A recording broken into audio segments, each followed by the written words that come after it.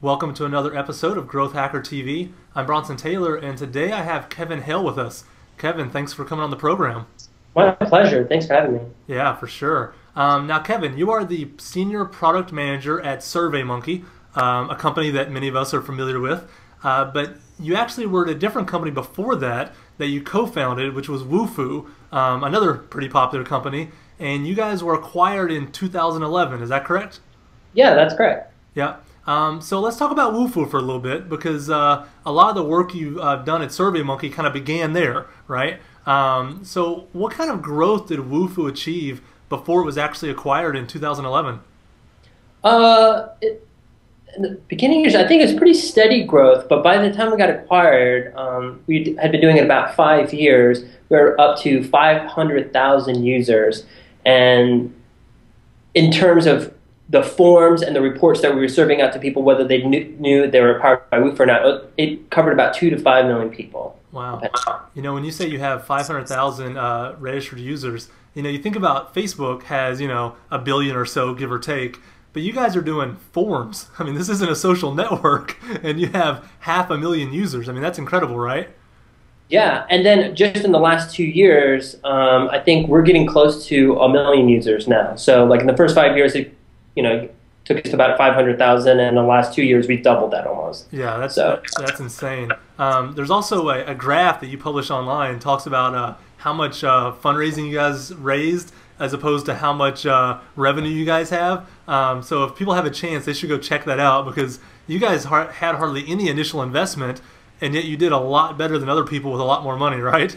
yeah, uh, we raised uh, eighteen thousand dollars from Y Combinator. we were one of the first Y Combinator classes, and then we only raised hundred thousand dollars from two angels. Yeah. Um, and then after that, we never raised another round of funding. We were profitable nine months later after we showed our first prototype at Demo Day. Mm-hmm we just never needed anyone's money and so. Yeah it's a great success story and that's why i'm going to be really interested in kind of uh, behind the scenes what made that happen because what happened at Wufoo is very unusual. Um, it is not the norm in so many ways. Now in 2008 uh, jakob nielsen named Wufoo one of the top 10 user interfaces for the web. Um, this is quite an accolade. Uh, Jakob Nielsen, when they you know bestow that on somebody, it's very meaningful. Um, this was an interface that was primarily created by you. Is that correct? Yeah, at the time there was only the three founders still. Mm-hmm. Um, so my responsibility on that was most of the marketing stuff and the user experience design. Yeah, perfect. So let me ask you this: How important do you think the user interface is in general for user adoption and user retention and all those kinds of growth metrics? I'm actually mixed on this. I mean, as a a designer, I have a certain level of taste, so I like my apps to look and feel a certain way, and I have a high level sort of like aesthetic expectations for the apps. But I actually think the success of an app um, has less to do with just the looks, but the iteration and the commitment to users over time. So I believe it's it's much more than just sort of the look and feel. I think mm-hmm. you have to spend a lot of time iterating over time and spending time like in front of users and getting it to a place where you get a perfect sort of match, like yeah, any kind of sort of relationship. Like I, I don't think you hit the nail on the head on your first go ever. Yeah, so let's talk about that a little bit. Um, online, you were quoted as saying, uh, "quote What most people don't know is that designing software that looks good is often the easy part. The real trick is designing software that is both effortless to use and highly profitable, most of the great software you see is a result of endless iteration guided by good data. End quote. right? Um, I love that uh, that phrase, that that uh, quote there. Um, so tell us, you know, the end of it, you say great software you see is a result of endless iteration guided by good data. Um, what is good data? Uh, because that kind of speaks to that process you just uh, talked about.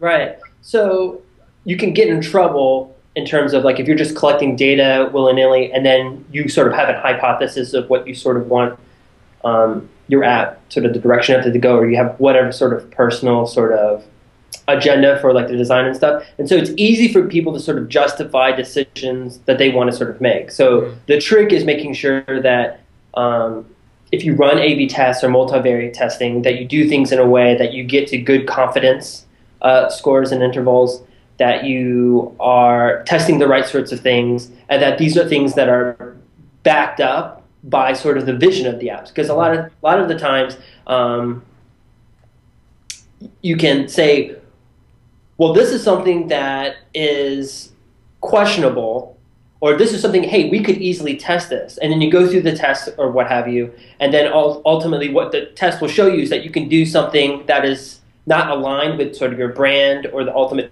vision of the app and stuff. Mm-hmm. And just because the numbers show that it's better doesn't ultimately mean it's um, something that you should pursue. So there's been a number of times where we've been shown that we've done a couple of tests and it ended up being like, well, okay, the data shows this, but this doesn't really work for us, so we're going to end up not going with this anyway, even though it shows that this definitively is gotcha. going to work on the metric, just because it didn't feel right in terms of how it's going to. Yeah. So sometimes good data is just about making sure you're looking at it with good eyes. I gotcha. So it's not just you know the metrics rule everything. It's that you have a vision for your company, and the metrics have to support that but they don't lord it over that brand and that vision and the long-term values and goals of what you're creating. Uh, that, that, makes a lot of sense. Um, what tools do you use to get good data? Um, you know, everyone has their kind of toolkit of apps they prefer or ways they prefer to get data. What are some of the things in your workflow that you actually use to get this good data? Gotcha. Um, so the some of the easiest stuff that we do in the early stages is just um,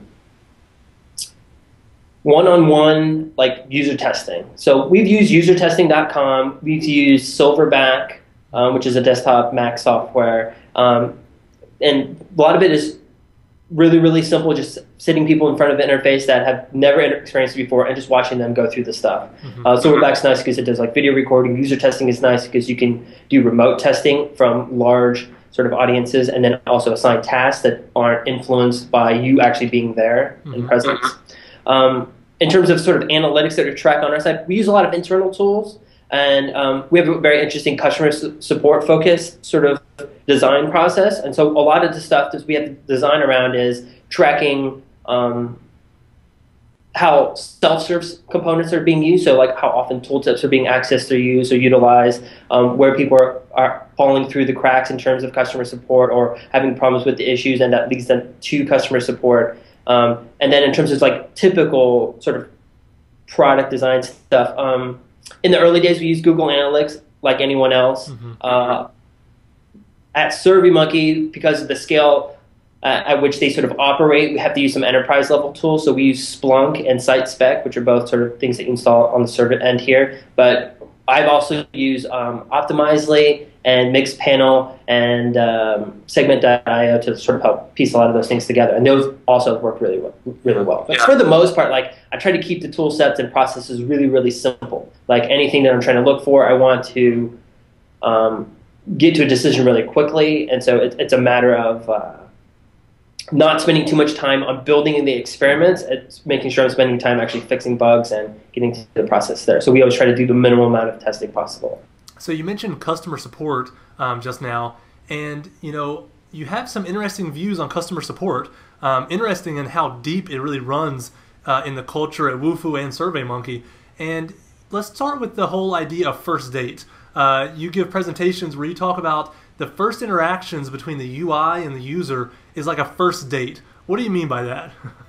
yeah, so when we first started building out Wufoo, we um, knew we didn't want to build any kind of software. We wanted to build this software that people wanted to have a relationship with. And that was because we just kind of like understood that people are social creatures and they can't help but create relationships with the things they interact with over and over again, whether that's a brand, the cars you drive, um, the software that you use, or the clothes that you wear. Mm-hmm. And so we figured that it was going to be important for us to sort of help shape and be um, proactive about how that relationship develops. So we actually looked into the research of how relationships work between human beings, and we literally tried to just sort of copy them and try to create processes to sort of mimic that to sort of build a good, strong brand. Mm-hmm. So um, the research that we looked at was how sort of first dates and first impressions work, and, and relationships first start, and then how sort of existing relationships work over time.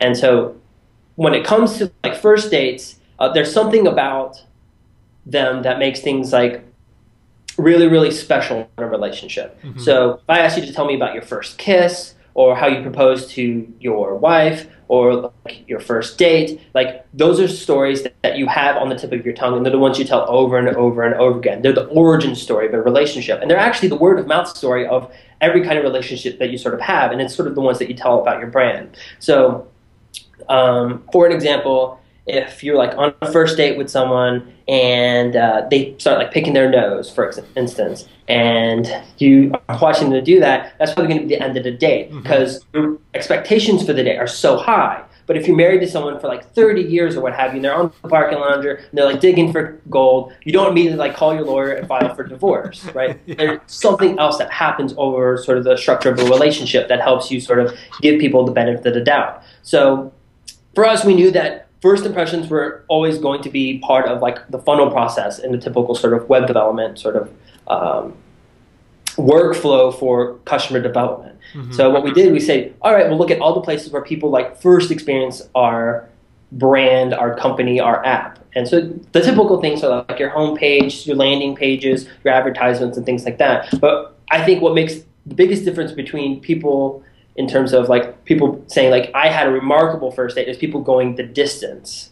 And so Above and beyond, we also looked at the first emails, the first time you ever see any part of the interface, the login link. Like we go down to granular details. Like the first time you see any part of the app, can we do this in a way that it's going to be remarkable that people can say like, oh, at least they thought about me in this way, or you know, they did this little thing and it just showed me that they cared. So. Yeah, you mentioned a login link there, uh, and that's a, that's a cool one because of the way Wufoo did it. So tell us about the login link at Wufoo.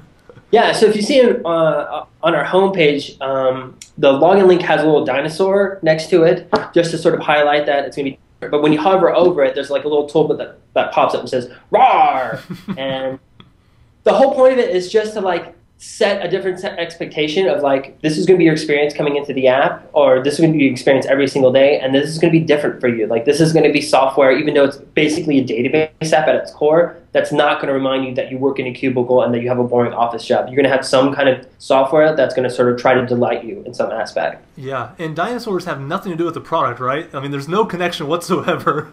Just having to do with our interest. So you'll also find dinosaurs uh, of all different kinds Shakespeare quotes, ninjas, robots, basically things that um, 12 year old boys like and weird um, people who own libraries. yeah, there you go. No, that's great. And, you know, those little things, do you think they actually affect the bottom line? Like, at the end of the day, does a dinosaur saying "rar" at me when I log in for the first time? Do little you know tidbits of Shakespeare and Ninja? I mean, do you think you can actually say, yeah, like we make more money and we have a brand and we have growth in some way because of that, or are they just uh, extras, complete extras? I well, I think you have to always get the fundamentals right, the core part mm-hmm. of the experience. I think you can't do any of these other little touches unless you get that part right. Yeah. So if you get that wrong, then all of those little things are going to make people feel like you're focusing on the wrong things. But uh, the fact gotcha. that we get our fundamentals correctly and always this polished step of the little things to try to delight people are the last things we work on mm-hmm. helps people feel like, wow, they went the extra distance rather than, oh, they're trying to put makeup on a, on a pig. Yeah. And in terms of it affecting the bottom line, I like to think so, but I've never run an app that works or operates any other kind of way, so I couldn't actually give you a direct comparison. Yeah. But I do know that it does not affect our bottom line in terms of we have tons of enterprise clients, mm-hmm. people and brands of all different shapes and sizes, and we operate internationally on a global scale, and we've never had or lost a client as a result of us looking odd or trying to be a little bit too much fun. I think if you think about it in terms of like real human relationships, people who work inside of these larger organizations companies they're actual people. And people want to interact with software and with a team that they know is going to be kind of fun has a sense of humor sort of really gets them and is thinking about them in an interesting way rather than thinking about them as just another sort of line item on a spreadsheet. Yeah and you know speaking to the fun kind of aspect of everything uh, how'd you actually come up with the name wufoo oh uh, we had some friends who um, in our Y Combinator class, and he wrote a, a, a, site called Instant Domain Search, and he gave us a list of like five letter uh, domain names that were available, and the one that struck out at me was one that had uh, two components of bands that I really loved at the time, which was Wu Tang Clan and Foo Fighters, and I said like, this is it. This is one that you know calls out to me. And in the beginning, one of my co-founders actually didn't like the name, mm-hmm. and he was just like, I don't know, it's, it's kind of weird, and no one knows what it means or what have you and stuff, but he mentioned it to his girlfriend at the time, and about a week later, he like calls her back and says, "Hey, do you remember that name that we're like tossing around trying to think of?" Just like I think it was called Wufoo and stuff, and he's like, "Okay, I'm sold." You no, that's remember awesome. So long, so. And it's just great to see how you've built a company there with Wufoo, um, doing so many things that people don't do. You know, with dinosaurs and robots and a name like Wufoo, you broke all the rules, and yet you were allowed to, and it actually helped you because you got the fundamentals right. Um, so I love that point you made that if you if you put this polish on without the fundamentals, then you become a joke. If you put the polish on with the fundamentals, you become clever, um, and, and, that's really it's a differentiator.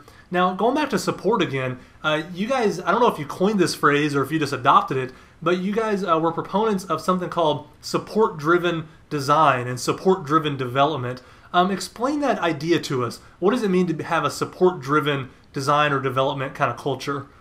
I gotcha. Um, when Chris Ryan and I were starting a company, and then we were getting to the process of hiring people, we were trying to think of, like we did with our app, like how can we run and build up this company in an interesting way as well? And is there some kind of insight that we can have that can sort of make this different? And at the time, all three of us had been doing cu- all the customer support for Wufoo for, for the first like two years of that. and we knew that that experience completely transformed us, both in terms of like our attitudes towards building software, but how we maintain the quality of the software, how we design and build things, and how it affected every part of the process of how we sort of think about running the company.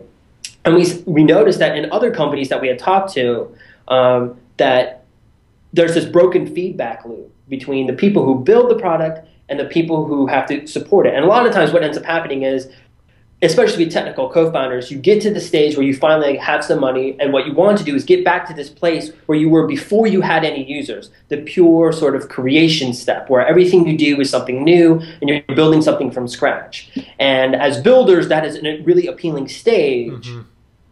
And what ends up happening is once you start getting users and you get revenue, what you do is you try to divide and conquer, and you try to have other people take care of the stuff that you don't want to have to deal with. And, and first on the list is usually customer support.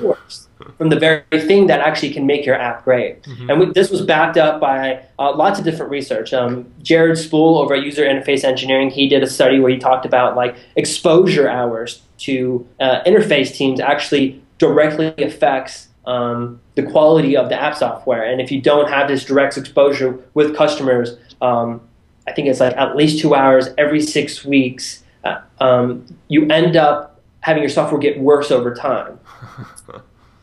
so we said, okay, if the feedback loop is the problem is that the people who build the stuff aren't going to do the customer support or what have, have you, and we want everyone to have an understanding of that. Um, the problem seems to be a sense of humility. Like the people who build this stuff feel like they're too good for this stuff. Mm too good to get the insights, and the people that are building or using their stuff is like doing it wrong. And so we said we need to make sure there's a sense of responsibility, accountability, and humility, especially in the process of software development. So we said, all right, we're going to just add two things to it. And the first thing was everyone in our company does customer support, and support-driven design or development. It, it's that's exactly that simple, um, and it's no different than other sort of agile practice, which are meant to like build software in a quick way, but also maintain a high level of quality and let you be flexible. So whether it's your agile practices with Scrum or what have you, or test-driven development, all of that's meant to do is like, how do I build stuff so that it's high quality when it goes out to the users, mm-hmm. but also lets me be flexible. And so our feeling was like, well, if you just have everyone have to do the customer support, and you make sure that you have sort of a continuous deployment process where you're constantly pushing stuff out to fix the things as you're like helping people, then your QA costs go way down, um, your understanding and empathy with the user goes way up, and then people start thinking about software in a different way when they're building it. So, for example, you just have processes that come out like um, when we go through design reviews, like, hey, this is missing tooltips, right? There's not stuff in the interface that helps people out, or people are very cautious about adding new interface elements because it's like, okay, how do I add this without being confusing? We don't announce any software unless there's good documentation for it. We constantly build screencasts for it, and it's part of the people who build the build the software that are now responsible for those things. And it turns out there's like some really nice side effects that we've discovered. So in a culture or in a company culture where everyone is responsible for doing customer support, whether you're a designer, uh, developer, or engineer, or even the bookkeeper or the founders, if everyone's doing customer support, what ends up happening is the support that you give is the very best support that can possibly be given. Yeah. And it's because the people who built the stuff are the most knowledgeable. They know the best places to fix the stuff, and they'll be able to help people in a really sort of intimate way that is also extremely knowledgeable to the users. Mm-hmm. Of course, in order to have a culture that works like that, you have to hire for a specific type of in- individual.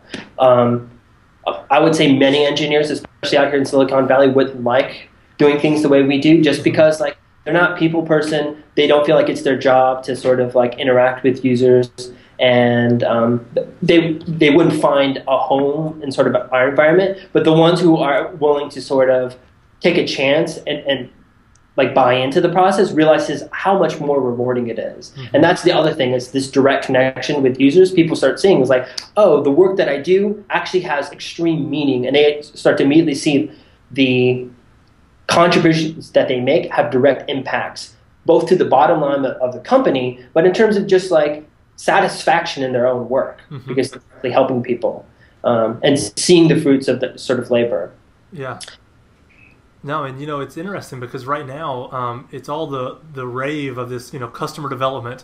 You know the lean startup is all about customer development, getting out of the building, talking to customers. But it's almost like with you know with support driven design and support driven development, you're doing customer development all the time, nonstop, 100 percent of the time, right?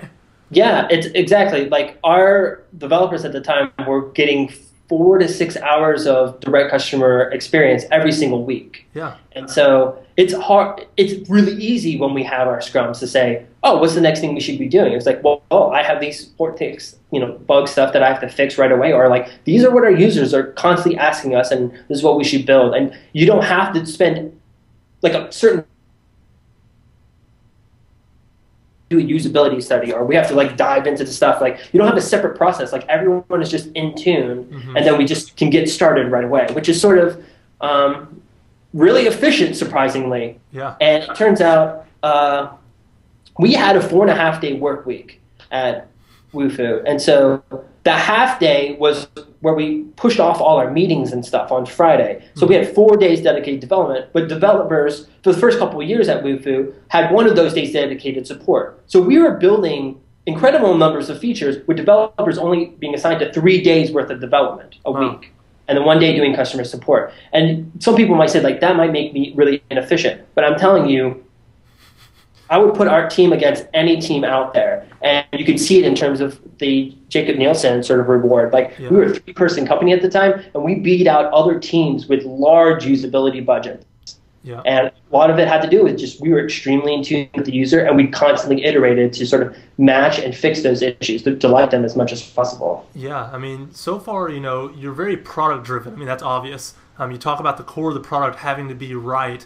And you know that's a part of growth you know growth isn't just something you do after the product it is the product it's everything you do and so this you know support driven design and support driven development it essentially leads to growth when it's done right because your product's improving and when the product improves that allows you to have real growth and then you can put the cool login you know tyrannosaurus rex as the extra but i think this is actually the fundamental thing that's driving the growth you know i mean would you disagree with that no, for the first four years of when you see sort of our growth curve, um, we didn't spend any money on traditional marketing, advertising, or what have you. All of it was through word of mouth. And I, I'm going to say, like, word of mouth happened because people's experience with us and then the help that they got, if they ever had any kind of issues, helped solidify, like, oh, these guys are people that we can trust mm-hmm. and sort of manage and, and work with. And yeah. I don't know. I think we didn't focus on growth. We didn't have like a growth team or what have mm-hmm. you. Like we were like, okay, we'll do everything that we can to make sure that customer support grows at a very maintainable sort of linear level, which is very different from the graph of our user growth. And yeah. so you focus on all these admin tools and all these self-help processes to make things work. And then we say like, if we do the right things and we focus on the right stuff, the growth just happens. Mm-hmm. And it just kind of it, it, worked out that way. And yes, that takes like a big leap of faith, mm-hmm. but I believe like our company culture was so happy and it was such a delight to run that kind of company. Mm-hmm. and it was really satisfying both in terms of like work satisfaction but also in terms of like work life balance where you feel like you know i'm not building stuff to try to trick people into buying things. Like our customer support was to the level where we would keep track of what our competitors were doing. And so if a user was asking us for a feature that we didn't have and we knew it wasn't on the product roadmap or what have you anytime soon we tell them like sorry we don't have this feature right now but here's a competitor we know their team. They are a really good group of people, and they have a feature that you're looking for. We highly recommend that you give them a try, and you know, let them know that we sent you, and you know, hopefully, whenever we build out this feature, maybe you might want to be added to a mailing list of like when this gets developed, and whenever we build it out, we'll you know let you know. Yeah. More times than not, these people never even left. Mm-hmm. And when we had this sort of mailing list of every feature that we developed, we have this mailing list set up to say, oh, we know these people were looking for this feature. We let them know proactively, and they'd be like, wow, that's amazing. You guys like delivered on this thing that you know I wasn't even sure you were going to build out out on. So. What a great story. That's awesome. Um, now, as much as you focus on product, you also do have a knack for kind of the the pure marketing stunts, I think, as well. Because um, I looked online, and at one point, you guys gave away a battle axe. Is that right? Yeah. Uh, Tell so me about that. A couple years ago, we wrote rewrote our API because we really wanted Wufoo to become a platform for like form development stuff. And, and, this was the third version of API, and it was based on REST principles.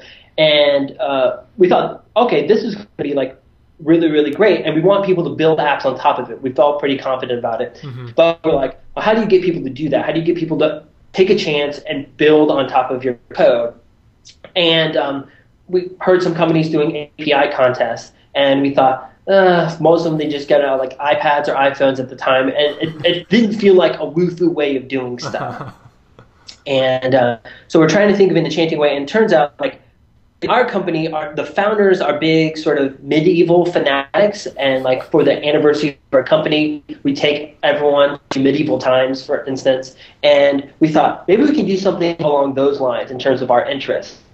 So we contacted some people over at armor.com, and we said, we have uh, a picture of this battle axe that we would like build. Can you custom forge this for us? And it's like, oh yeah, that, we'd be delighted to do that. So we had them build this, and we blogged and tweeted about it, and we said, okay, for this API contest, if you win first place, you will win this custom forged battle axe. And it's one of those things where, again, like the first impressions of it, people saw it and were like, holy crap, and the word of mouth spread really, really far. And it's one of those things where you can't help but want to kind of work on this kind of API content because you get to tell other people, it's like, I got to work on this code because I could win a giant medieval weapon as a result of it. And so, yeah, it's really great. And we had like 25 great submissions. We got things like an iPhone app, a WordPress plugin, um, an Android app, like all these great stuff that for the cost of running this API contest, we could not have gotten other teams to build for us in the time scale that we had run it. So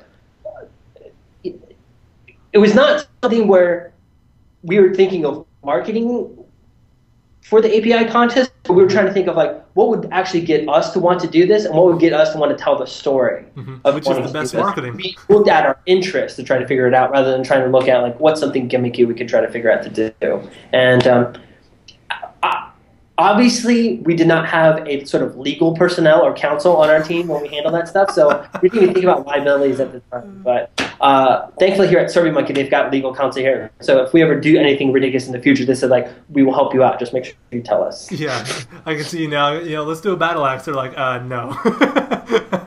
um, well, they actually. SurveyMonkey is actually really great about understanding our culture a lot, mm-hmm. and so they, they said just like talk to us and we can help do it in a way that liability. I'll give you one great story about SurveyMonkey, like really understanding Wufoo. Uh, when we first got acquired, one of the first objective or goals was to help internationalize Wufoo. And we wanted to, our first language we wanted to do was Spanish. So we were building out Wufoo Espanol. And in Wufoo, in all these different parts of the app, we have all these Shakespeare quotes, some of my favorite Shakespeare quotes that kind of like, uh, align with sort of what's going on in the app. Mm-hmm. And when we were going through the localization process, I said to um, the VP of internationalization here, I'm not so sure that translating these Shakespeare quotes to Spanish is going to really work that well for the other culture. It's not going to give them the same sort of feel. And she's like, Yeah, I know what you mean. I was like, maybe we could use like uh, literature from their own language that's sort of really impactful and, and, do that. And so we came up with the idea of using Don Quixote. I knew quote. that's what you were going to say.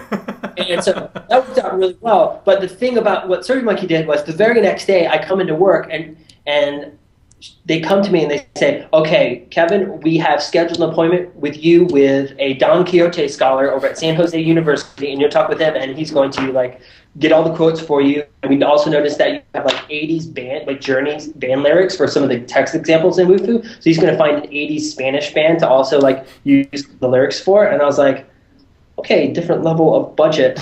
That's it up here. But they totally embrace sort of like our culture and how we sort of do things at Wufoo. So, that, you know, they've been an awesome partner in this. That's great. Well, let's talk about SurveyMonkey a little bit here. Um, when you guys came on board, one of the things, tell me if I'm wrong, that you were tasked with was kind of redesigning the sur- the survey creation experience. Is that right? Yeah. So. Um, yeah. So tell me a little bit about that. Um, tell me about that process a little bit. Yeah. So um, I ran two teams. So I continued running the Wufoo team, and then we started building on this project to redesign SurveyMonkey's uh, survey creator, and they call it Create. So the new system is going to be called New Create.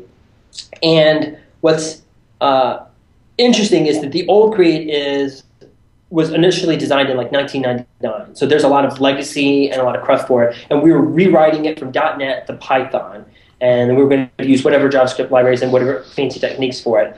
Um, we have just, I think last week launched, I think two weeks ago, we launched an A-B test of the old versus new systems. they're going side by side mm-hmm. uh, right now. So it's too early to say um, how things are going to sort of play out, although we're doing pretty well in terms of new create the biggest goals for the app was design the app so that it didn't disrupt sort of the giant user experience. So we couldn't like completely go in left field to sort of build something new. We had to do something in line with help people gradually get on board onto the app. But the biggest thing we wanted to do was simplify the process because um, SurveyMonkey has tons of question types that they've added over time, and a lot of the times it's gotten very confusing. So my job was a lot of times like working with the copy editors and writers to try to figure out like what is some language and terminology that makes these things a lot more self-evident, and how we condense these this code so it's a lot easier for the user. So I'll give you one example. Mm-hmm. Um,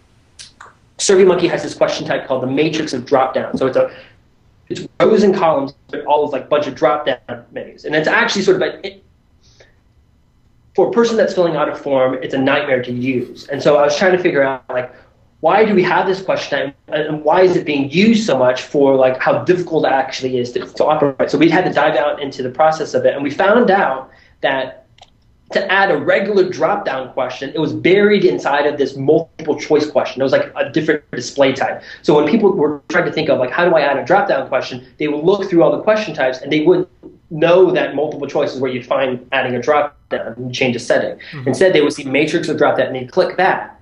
And so I said, and how we were able to validate that assumption is that we looked through the product data and we found out that 95% of the questions that were matrix of drop downs were one by one grids of these questions. So people were like using that question and then paring it down because what they really wanted was a drop down. Uh-huh. And so that was like a question type that we were able to say, okay, this isn't going to come into the new system. We're going to help migrate some people over. So it was looking at all those sort of assumptions and how things got built and try to simplify and clarify and sort of surface a lot of features that a lot of people didn't realize. Yeah, that's great. When do you guys think you'll be uh, kind of unleashing the, the new Create um, for everyone? Yeah, so uh, because of the scale at which SurveyMonkey works at, it takes a while to sort of validate certain major A/B tests like this. So I think it's going to take three to six months before um, it'll roll out to all new users permanently once we sort of validate that stuff. But you can't quote me on that because anything can happen of at that. of course. But uh, it's it's going really well right now, and so we're really really excited about it because it, it's a it's much more Wufoo feeling mm-hmm. in terms of sort of the drag and drop sort of interface of it, and we've added a little bit of character to it. So, for example, to teach people, because in the old SurveyMonkey, there's no sense of drag and drop. So, to teach people how to do drag and drop, we created like banana targets. And so you can help grab questions and drop it on a banana target, and then like sort of a peeled banana shows up and gives you points and things like that. Yeah, that's cool. Um, so, I mean, you know, you've grown Wufoo, you know, substantially. You're part of SurveyMonkey, which is growing substantially. Um, so you've been uh, the reason things grow. You've been around things that are growing. So tell our audience as kind of the last uh, response here. What's the best advice that you can give to any startup or any entrepreneur that's trying to grow? Because the people watching this, they're trying to acquire users. They're trying to retain users. They're trying to get revenue off of users. They're trying to do what you've already done. What's the best advice you have for them? I think I mentioned this earlier in this interview, and I think it is I think the best path to growth is not to obsess over it. I think people who are sitting around trying to think of like how do we add viral loops and all this stuff, like what you end up doing is you're growing for growth's sake. And I think if you do this very core fundamental, which is build something that people really want and make sure that people feel satisfied by it, and then you build in processes so that their long-term goals and your long-term goals are aligned, then growth will sort of find you. Like what you end up having is people wanting to use your stuff, they recommend your stuff to other people, and that they don't want to leave. And I think as long as you sort of keep that at heart, you'll be surprised at how well how well and how far that will take you. And once you get off that path, you know, that's when you will start trying to do little tricks and stuff, which might ultimately in the long term negatively impact sort of like, is this the kind of company that I wanted to work for? Is this the kind of product I wanted to build? Is this the kind of stuff that I want my users to think of me? Yeah, sounds like very wise advice, Kevin. So again, thank you for taking time out of your schedule, and thanks for coming on the show. Yeah, thank you so much.